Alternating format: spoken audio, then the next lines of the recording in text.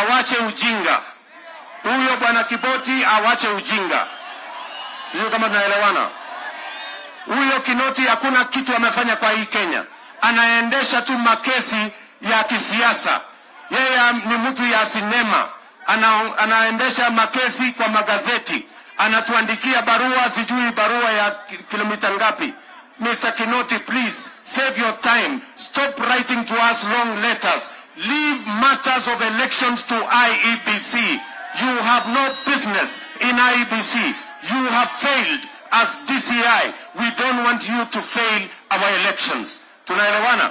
Huyo bwana Kinoti awache hiyo ujinga yake anaendesha pale kwa sababu anatukasirisha. Huyo bwana Kinoti tunataka tumwambie awachane na watu wa IBC wafanye hii uchaguzi. Alipatiwa kazi ya kufanya criminal investigation. He has never done anything. Ile kesi yote anafanya kesi kwa magazeti, akiambiwa apeleke evidence kule kotini ameshindwa.